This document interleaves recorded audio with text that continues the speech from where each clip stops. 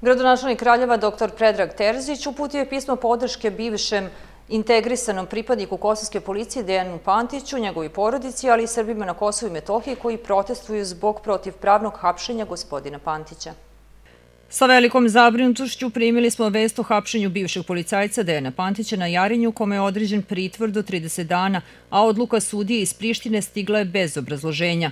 Njegova porodica danima ne dobija nikakve informacije o njegovom zdravstvenom stanju, što kao građanin Srbije i kao gradonačelnik jednog grada u Srbiji, koji je primio veliki broj interno raseljenih lica sa teritorije Kosova i Metohije, najstrožije osuđujem jer je svaka vrsta ugrožavanja ljudskih prava i osnovnih sloboda koje su ustavom zajamčena svakom građaninu naše zemlje nedopustiva.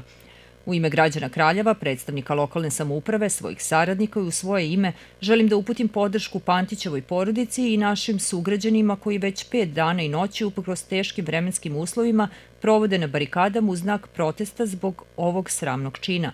Smatram da je mirno rešenje svakog spora uvek najbolja opcija, a Srbija na čelu sa njenim predsjednikom Aleksandrom Vučićem uvek je činila sve da doprinese miru, stabilnosti i bezbednosti svojih građana. Ljudska solidarnost, razumevanje i podrška u ovim teškim vremenima najveća su snaga našeg naroda i glas koji se najjače čuje.